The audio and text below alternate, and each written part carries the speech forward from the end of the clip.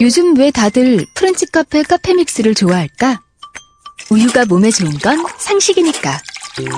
화학적 합성품 카제인 나트륨이나 카제인을 넣지 않았으니까. 대한민국에 딱 하나뿐.